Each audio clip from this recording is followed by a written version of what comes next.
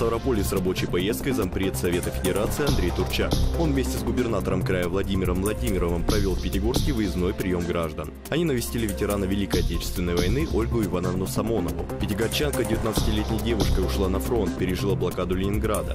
Сейчас же Ольга Ивановну волнует судьба мемориала Победы, который расположен в парке Пятигорска. Губернатор отметил, что ко Дню Победы памятник приведут в порядок. Работы уже начались. Андрей Турчак, в свою очередь, сказал, каждого ветерана надо окружить заботой. Для этого он предложил закрепить за участниками войны по волонтеру.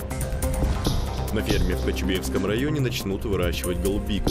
Грант в размере почти 3 миллионов рублей на реализацию проекта получил местный предприниматель. Согласно планам, на предприятии будут выращивать более 5 тонн голубики в год.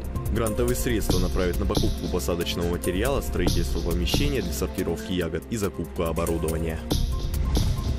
В Александровском районе сдали в эксплуатацию ясельный корпус детского сада «Аленушка». Новое здание смогут посещать 55 малышей в возрасте от полутора до трех лет. Корпус построили благодаря нацпроекту «Демография». Общий объем финансирования более 45 миллионов рублей. По этому же проекту в районе строится и другой ясельный корпус детского сада «Звездочка». Ввод в эксплуатацию намечен на 2020 год.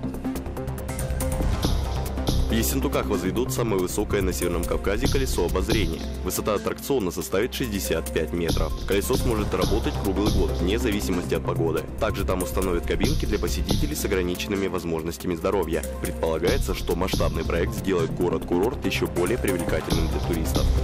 Ставропольский гандбольный клуб «Виктор» сражается за выход в четвертьфинал Европейского Кубка Вызова. Соперник израильский Рамат Хашарон. Первый матч прошел накануне на выезде и завершился в ничью 31-31. Наши гандболисты проигрывали один мяч к перерыву, но в итоге восстановили равенство. Теперь все решится в ответной игре в Буденовске, она пройдет в ближайшую субботу.